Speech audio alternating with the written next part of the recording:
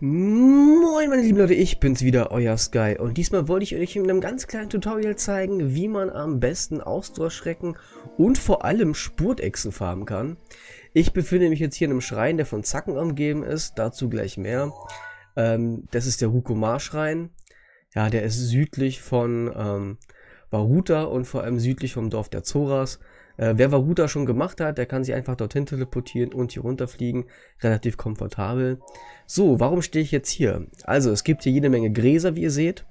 Und wenn man jetzt sein Schwert auflädt, ich habe jetzt gerade den Boni noch fertig. So, dann seht ihr schon, kommt die erste Ausdauerschrecke. Ähm, die muss man relativ schnell einsammeln. Denn wenn sie die Zacken rennen, sind sie tot.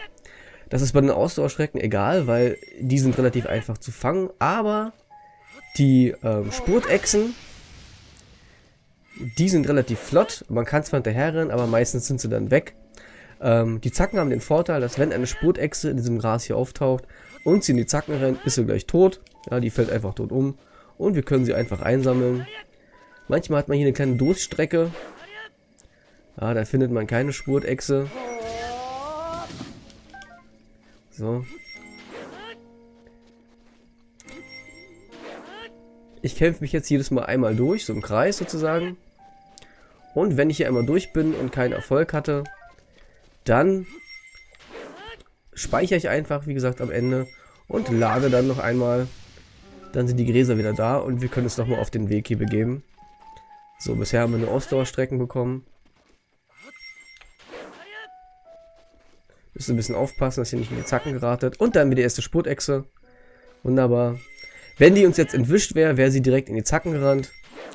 Und dann hätten wir sie einfach einsammeln können. So. So. In den ganzen Gräsern hier rum sind natürlich auch ähm, Spurtechsen, ja, aber ich zeige euch mal, was ich jetzt eben meine. Wir speichern. So. Jetzt laden wir den gesamten Spielstand wieder neu. So, das Gras ist wieder da. Und wir können uns auf den erneuten Weg machen. Einmal komplett von hier bis zum Punkt, wo wir gestartet sind und hoffen natürlich, dass wir ein paar Spurtechsen dabei haben. Alles klar, das war's von meiner Seite aus.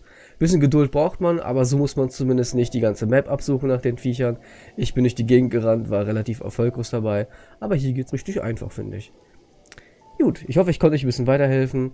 Wenn es euch geholfen und vor allem gefallen hat, dann lasst mir doch einfach ein Like da. Und dann hoffe ich, dass wir uns im nächsten Video wiedersehen. Bis denn, euer Sky. Tschüss.